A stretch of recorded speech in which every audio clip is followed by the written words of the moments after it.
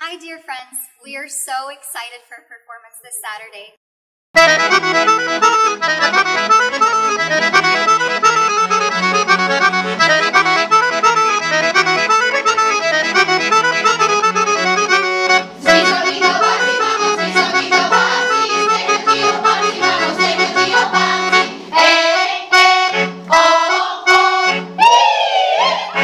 We hope you can join us at Covington Library from 1 to 2 p.m.